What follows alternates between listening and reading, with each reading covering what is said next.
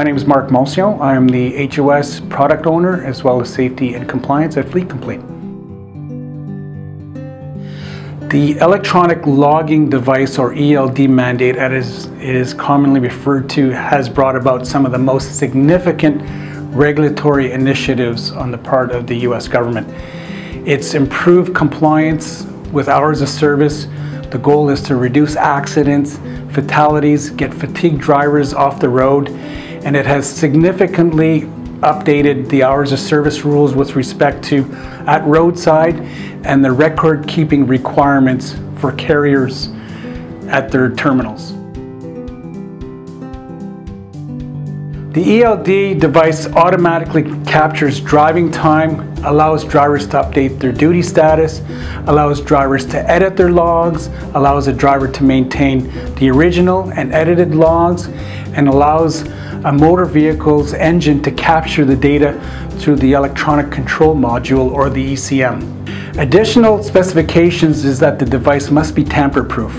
It must also protect the driver's privacy. So when a driver is using a commercial motor vehicle for personal conveyance, that it will block out exact lat, lat, longitude and latitude locations it electronically monitors the locations and the changes of duty status every time a change occurs by a driver. And it also prescribes the type of graph grid and the record of duty status, how it has to be displayed at roadside and transmitted to a motor carrier. So essentially a driver who is currently doing paperwork or paper logs must comply with the hours of service and the ELD rules. As is the case with most rules, there are always going to be exemptions. There's the short haul scenario that I described earlier. There's a tow away operation where essentially a vehicle is being towed by a, a, power unit and the actual towed unit is part of the cargo. If someone is operating a commercial motor vehicle that has been manufactured older than the year 2000, and drivers who are not required to complete records of duty status for eight days in a 30 day consecutive period, would be exempt from the ELD rule. Now I want to clarify though, in these given scenarios, these drivers must still complete a paper log. So you can appreciate some of these customers, some of these clients in this type of scenario will in fact uptake on ELD because it simplifies their task and goes away from the paper process. Yeah, the timelines are, are different. There's a two-phased approach from December 16, 2015 to two years later, that being December 18, 2017, carriers may begin to voluntarily use an electronic logging device. However, they have other options.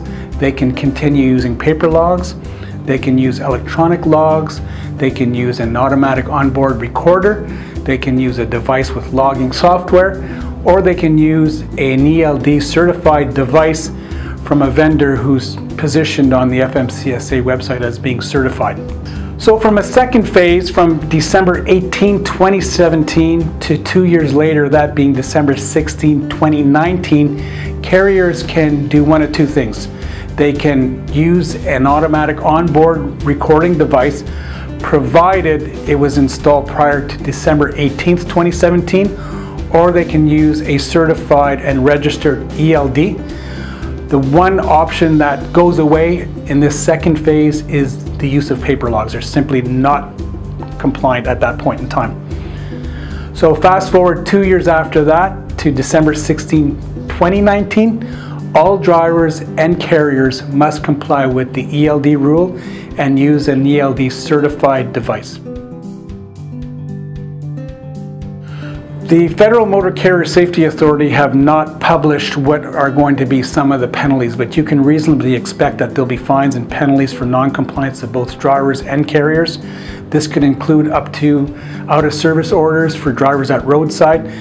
It could potentially likely impact upon the hours of service, CSA basic scores.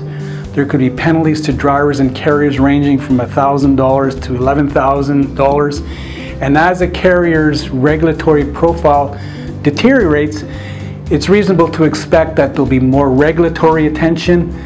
Vehicles will get stopped at roadside, they'll be brought into weigh stations to confirm that the device is in fact compliant. There's graduated discipline, anything from warning letters to audits. There could be interviews where the leaders of these motor carriers can be called in to attest to the programs they'll put in place to comply with the law. Ultimately, there could be sanctions. From a public profile, the carrier ratings can go from satisfactory to conditional to unsatisfactory. There could be civil penalties, there could be criminal penalties. On another front, you know, there could be a negative branding perception if in the industry it's known that a certain carrier is a, is a regular violator of the law. And ultimately, loss of customer attraction and retention is the ultimate loss for, for a fleet that's non-compliant. I get asked the question quite regularly, what is the difference between an automatic onboard recorder and an electronic logging device? Quite simply, at the highest level, an automatic onboard recorder, the device in fact must comply with part 395.15 of the US rules. The ELD device quite simply has to comply with the recent ELD rulemaking provisions that has like the 500 plus page document that speaks to all the functional requirements.